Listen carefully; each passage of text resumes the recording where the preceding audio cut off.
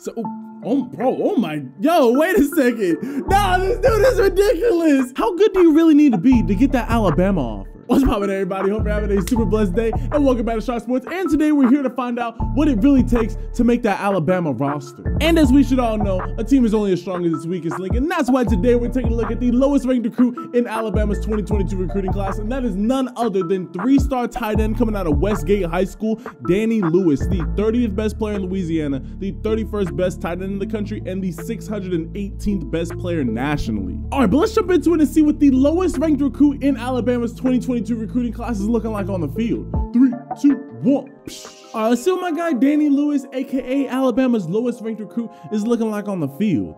So we should already know that, hey, if you're Alabama's lowest ranked recruit, you still gonna be one of those one of those guys. Okay, showing showing off a little bit of the wheels, you know, showing showing off he's got some wheels. I think what it say, six four and a half, two thirty, something like that. Oh, this body, nah, he's he's just gonna be bodying kids out here. So, oh, oh, bro, oh my, yo, wait a second. Nah, this dude is ridiculous. Hold up, hold up, my boy. nah, this is ridiculous. He said, boom, 13, 13 got checked, straight body slam. He said, Bob, nope. Jumps over him, nope, you're not bringing me down. Bro, he literally was just a pinball machine out there. And then he's just gonna be able to, he's gonna be able to just give you those high points all day, every day. Lock him up, drop, drop him out. Let's go. That's what you like to see.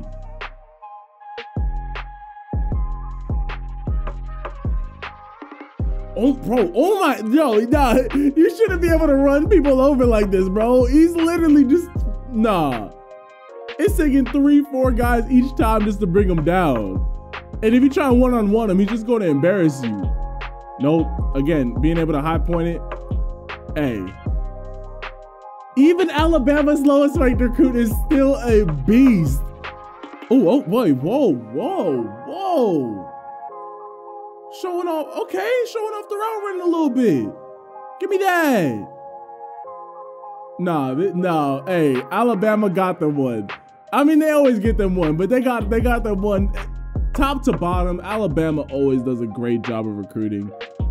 And especially when you look at a guy who is a top 600 player, I mean, what did I say, the 618th best player, you know that Nick Saban or somebody on that coaching staff saw him and was like, hey, no, there's something special about this kid. Because normally, normally Alabama, they normally pick up one to three three-star recruits every single recruiting class.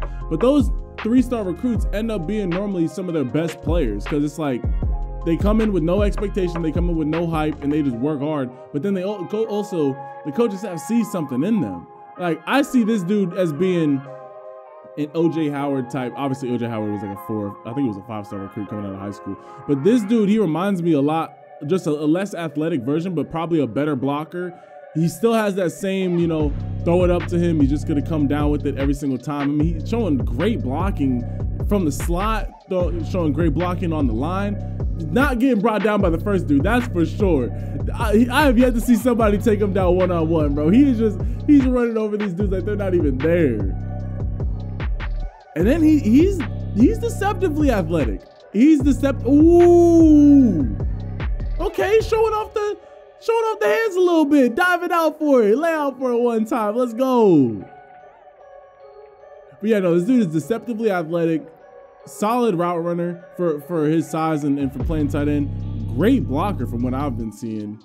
Nice hands catcher. You know, he can go up and high point your passes. Going to be a great, um, it's going to be a great red zone target for whoever Alabama's next quarterback is. A little push off, but it's all good.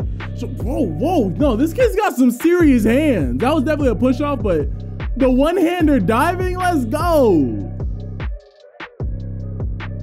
Again, look at how every single time he's catching these passes, he's catching it with his hands out in front of him. He's not letting the ball get in on his body. He's catching it away from him. And again, you need the whole team to bring him down.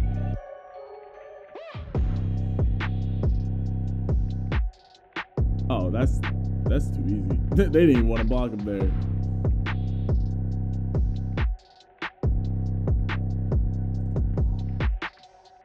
Yeah, he he is going to be a mismatch because if you put him in the slot, he's bigger than most linebackers and safeties, so he's gonna be able to just to high point passes wherever you put him. And then he shows off the block. He's go go sit him down on the bench. Yeah, go have him go find something out there. Oh, just turn around. Easy money.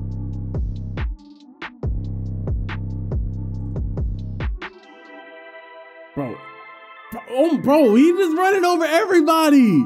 I, I love the fact that he's showing that he's he's able to catch those passes across the middle. Being being able to being able to catch the 50-50 like they can like where you get hit as soon as you as soon as you catch the ball. It's, it's light work for him. Obviously, once he starts going up against guys who are closer to his size, it's going to be more impressive to be able to catch that uh, that bang bang uh, play. But being able to show it in high school is still just as impressive. Go high point it. They ain't stopping me. Give me that. It's too easy. So that is what Alabama's lowest ranked recruit in three-star tight end Danny Lewis was looking like on the field. Even Alabama's lowest ranked recruit is a physical monster. I mean, my guy is 6'4 and a half, 255 pounds, moves like he's 225, has great bursts off the line, phenomenal blocking. He can go up and high point the pass for you. He's not getting brought down by the first guy. This dude is going to be a great move the chains and red zone threat tight end for Alabama. And Danny Lewis does a good job of capping off an amazing, another amazing year of Alabama recruiting. Alrighty, y'all, I know that y'all enjoyed this video, so be sure to leave this video a like. Also, comment down below, what did you guys think of Danny Lewis, as well as who is, are all my Alabama fans, who is your favorite player that you guys picked up in your 2022 recruiting class? Also, if you haven't already and you've got to this point of the video, be sure to hit that subscribe button and turn your notifications so you never miss any of the five videos that we're dropping on the channel. And with all that being said, I love and appreciate all you guys. And I will catch you guys in the next video. Ciao.